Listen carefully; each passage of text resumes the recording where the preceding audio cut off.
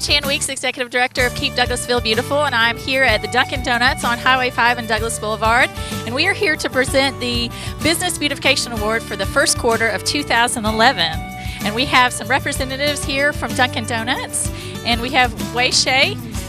who is the owner and operator of the of Dunkin' Donuts here, and his daughter and wife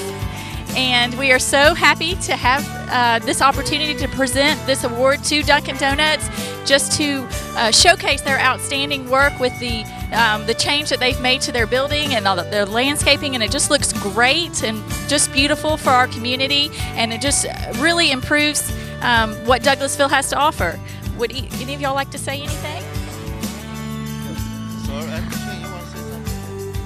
Maintain that every 15 minutes all of our employees come out and make sure that the pavement and the grass area are all clean and we hope that this is an example for the rest of the community. Thank you. And we really appreciate that and we hope that presenting these awards each quarter does just that just you know um, identifies these businesses that are taking that extra initiative to you know make the community a better place to live and work